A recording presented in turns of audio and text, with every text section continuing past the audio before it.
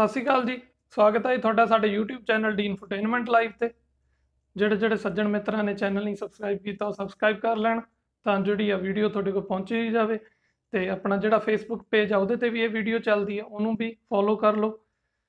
ਤੇ ਜਿਹੜਾ Instagram ਦਾ ਆਪਣਾ ਪੇਜ ਆ, ਉਹਨੂੰ ਵੀ ਲਾਈਕ ਕਰ ਲਓ। ਅੱਜ ਦੀ ਜਿਹੜੀ ਵੀਡੀਓ ਬਹੁਤ ਸਾਰੇ ਸੱਜਣ ਮਿੱਤਰਾਂ ਦੇ ਕਮੈਂਟ ਆਉਂਦੇ ਨੇ ਕਿ ਵੀ ਬਾਈ 855 ਦੇ ਮਾਡਲਾਂ ਬਾਰੇ ਦੱਸੋ ਵੀ ਇਹ ਕਿੰਨੇ ਮਾਡਲਾਂ ਚ ਆਉਂਦਾ ਹੈ। ਤੇ ਇੱਕ ਗੱਲ ਹੋਰ ਮੈਨੂੰ ਰੇਟ ਦੀ ਪੁੱਛੀ ਜਾਂਦੇ ਨੇ, ਕਿਹਦਾ ਕੀ ਰੇਟ ਹੈ ਮੇਰੀ ਹੱਥ ਬੰਨ ਕੇ ਅਪੀਲ ਆ, ਮੈਨੂੰ ਮੇਰਾ ਰੇਟ ਨਾ ਪੁੱਛਿਆ ਜਾਵੇ। ਰੇਟ ਹੈਗਾ ਡੀਲਰਸ਼ਿਪ ਦਾ ਕੰਪਨੀ ਦਾ ਮਾਮਲਾ, ਉਹਦੇ ਨਾਲ ਮੇਰਾ ਕੋਈ ਲੈਣ ਦੇਣ ਨਹੀਂ। ਜਿਹਨੇ ਲੈਣਾ ਉਹ ਆਪਣਾ ਕੰਪਨੀ ਡੀਲਰਸ਼ਿਪ ਤੇ ਜਾ ਕੇ ਸੌਦਾ ਕਰੇ।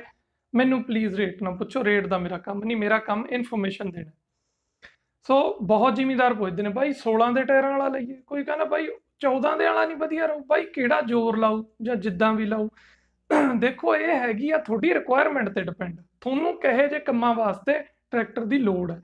ਵੱਡੇ ਟਾਇਰਾਂ ਵਾਲੇ ਦੀ ਲੋੜ ਹੈ, ਵੱਡੇ ਇੰਪਲੀਮੈਂਟ ਪਾਉਣੇ ਨੇ, ਵੱਡੇ ਟਾਇਰਾਂ ਵਾਲਾ ਲੈ ਲਓ।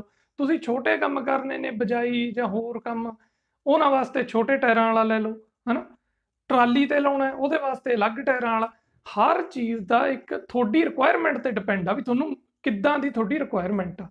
ਸਾਰੇ ਇਹ ਮੈਂ ਗੱਲ ਮੈਂ ਕਲੀਅਰ ਕਰਦਾ, ਜਿੰਨੇ ਵੀ 855 ਦੇ ਵੇਰੀਐਂਟ ਆਉਂਦੇ ਨੇ, ਸਾਰਿਆਂ ਦੀ 49.5 ਹਾਰਸ ਪਾਵਰ ਕਿਸੇ ਦੀ 52 ਨਹੀਂ, ਕੋਈ 55 ਕਹਿੰਦਾ, ਕੋਈ 57 ਕਹਿੰਦਾ 49.5 ਜਿਹੜੀ ਆਰਸੀ ਤੇ ਲਿਖੀ ਜਾਂਦੀ ਹੈ, ਬਾਕੀ ਕੋਈ ਆਰਗੂ ਕਰਦਾ ਨਹੀਂ ਬਾਈ ਇਹ 55 ਉਹ ਕੁਝ ਕਰੀ ਜਾਵੇ ਕਾਪੀ ਤੇ ਕੰਪਨੀ ਵੱਲੋਂ 49.5 ਹਾਰਸ ਪਾਵਰ 855 ਹੁੰਦਾ ਹੈ। ਇਹਦੇ ਜਿਹੜੇ ਅੱਜ ਆਪਾਂ ਡਿਸਕਸ ਕਰਨੀ ਆ, ਸਾਰੇ ਮਾਡਲਾਂ ਦੀ ਆਪਾਂ ਤੁਹਾਨੂੰ ਸਪੀਡ ਦੱਸਾਂਗੇ ਗੇਅਰ ਸਪੀਡ ਵੀ ਕਿੰਨਾ ਕਿਹੜੇ ਗੇਅਰ 'ਚ ਟਰੈਕਟਰ ਕਿੰਨਾ ਤੁਰਦਾ ਉਹਦੇ ਹਿਸਾਬ ਨਾਲ ਤੁਸੀਂ ਆਪਣੀ ਰਿਕੁਆਇਰਮੈਂਟ ਦੇਖ ਸਕਦੇ ਹੋ, ਆਪਣਾ ਹਿਸਾਬ ਕਿਤਾਬ ਲਾ ਸਕਦੇ ਹੋ ਵੀ ਸਾ- ਅਸੀਂ ਇਹੋ ਜਿਹਾ ਕੰਮ ਲੈਣਾ ਸਾਨੂੰ ਇੰਨਾ ਕੁ ਤੋਰਾ ਚਾਹੀਦਾ ਹਰੇਕ ਟਰੈਕਟਰ ਦੇ ਤਾਂ ਅੱਡ ਅੱਡ ਕੰਪਨੀ ਨੇ ਵੇਰੀਐਂਟ ਬਣਾਏ ਹੋਏ ਨੇ ਕਿ ਜਿੱਦਾਂ ਦੀ ਜਿਹਦੀ ਰਿਕੁਆਇਰਮੈਂਟ ਆ ਉਦਾਂ ਦੀ ਉਹਨੂੰ ਚੀਜ਼ ਮਿਲ ਸਕੇ। ਉਹ ਆਪਾਂ ਡਿਟੇਲ 'ਚ ਮੈਂ ਤੁਹਾਨੂੰ ਵਿਦ ਸਪੀਡ ਚਾਰਟ ਉਹ ਸਾਰਾ ਸਮਝਾਉਣਾ ਹੈ ਤੇ ਇਹਦੇ ਵਿੱਚ ਮੈਂ ਇਹ ਗੱਲ ਐਡ ਆਨ ਕਰਦਾ ਕਿ 855 ਦੇ 2 ਵੀਲ 'ਚ ਕੁੱਲ 6 ਵੇਰੀਐਂਟ ਆਉਂਦੇ ਨੇ, ਆਪਣੀ ਸਟੇਟ 'ਚ ਬਾਹਰ ਦਾ ਮੈਨੂੰ ਪਤਾ ਹੈ ਨਹੀਂ। 2 2 ਵੀਲ 'ਚ ਆਉਂਦੇ ਨੇ 6 ਵੇਰੀਐਂਟ 2 13 ਦੇ ਟਾਇਰਾਂ 'ਚ 2 14 ਦੇ ਟਾਇਰਾਂ 'ਚ 2 16 ਦੇ ਟਾਇਰਾਂ 'ਚ। ਤੇ 4 ਵੀਲ 'ਚ ਆਉਂਦੇ ਨੇ ਜੀ ਦੋ ਵੇਰੀਐਂਟ ਉਹ ਵੀ ਗੱਲ ਧਿਆਨ ਨਾਲ ਮੇਰਾ ਵੀਰ ਸੁਣ ਲਿਓ। 4 ਵੀਲ ਜਿਹੜਾ 855 ਆਉਂਦਾ ਹੈ, ਇੱਕ ਤਾਂ ਆਉਂਦਾ ਹੈ ਕਰਾਰੋ ਟਰਾਂਸਮਿਸ਼ਨ ਵਾਲਾ ਜਿਹਦੇ ਅੱਗੇ ਕਰਾਰੋ ਟਰਾਂਸਮਿਸ਼ਨ ਆ ਜਿਹਦੀ ਕੀਮਤ ਥੋੜੀ ਜੀ ਆਮ ਨਾਲੋਂ ਜ਼ਿਆਦੇ ਆ ਉਹ 16 ਦੇ ਟਾਇਰਾਂ 'ਚ ਆ।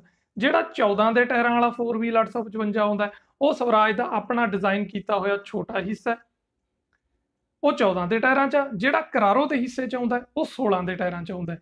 ਤੇ ਆਪਾਂ ਇਹਦੀ, ਮੈਂ ਤੁਹਾਨੂੰ ਸਪੀਡ ਚਾਰਟ ਪਾ ਕੇ ਸਾਰੀ ਡਿਟੇਲ 'ਚ ਸਮਝਾਉਂਦਾ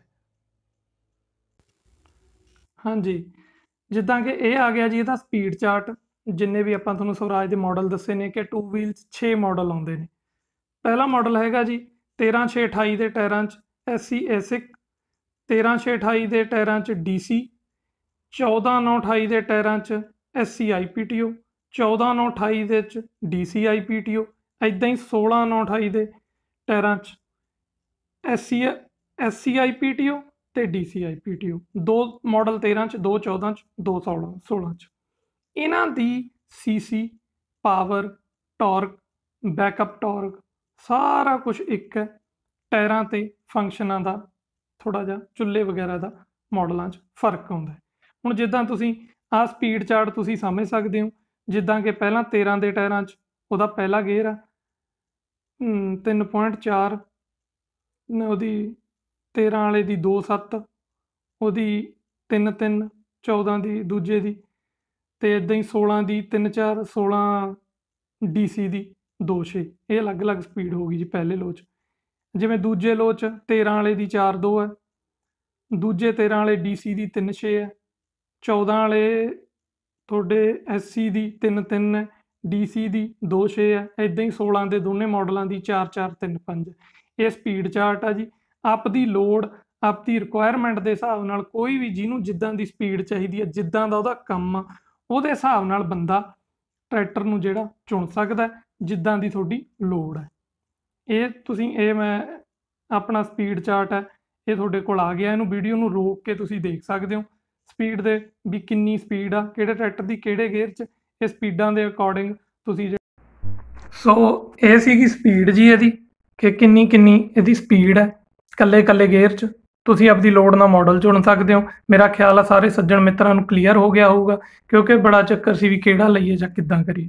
ਤੁਸੀਂ ਇਹ ਵੀਡੀਓ ਨੂੰ ਰੋਕ ਕੇ ਸਪੀਡ ਚਾਰਟ ਦਾ ਸਨੈਪਸ਼ਾਟ ਲੈ ਸਕਦੇ ਹੋ। ਸਨੈਪਸ਼ਾਟ ਲੈ ਕੇ ਤੁਸੀਂ ਆਪਣਾ ਹਿਸਾਬ ਲਾ ਸਕਦੇ ਹੋ, ਜਿੱਦਾਂ ਦੀ ਜਿਹਨੂੰ ਲੋੜ ਆ, ਜੀ ਹੌਲੀ ਤੁਰਨ ਵਾਲਾ ਚਾਹੀਦਾ, ਹੌਲੀ ਵਾਲਾ ਲੈ ਲਓ, ਤੇਜ਼ ਵਾਲਾ ਤੁਰਨਾ, ਤੇਜ਼ ਵਾਲਾ ਲੈ ਲਓ, ਟਰੈਕਟਰ ਸਾਰੇ ਇੱਕੋ ਚੀਜ਼ ਨੇ, ਇਸ ਚੱਕਰਾਂ 'ਚ ਕੋਈ ਵੀ ਸੱਜਣ ਮਿੱਤਰ ਐਵੇਂ ਭੱਬਲ ਭੂਸੇ 'ਚ ਨਾ ਪਵੇ। ਸੋ ਇਹ ਸੀ ਜੀ ਅੱਜ ਦੀ ਜਾਣਕਾਰੀ। ਬਹੁਤਾ ਕੁਝ ਨਾ ਕਹਿੰਦਾ ਹੋਇਆ। ਤੁਹਾਡਾ ਖਿਮਾ ਦਾ ਜਾਚਕ ਹੈ। ਤੁਹਾਡਾ ਬਹੁਤ ਬਹੁਤ ਧੰਨਵਾਦ। ਰੱਬ ਰੱਖਾ।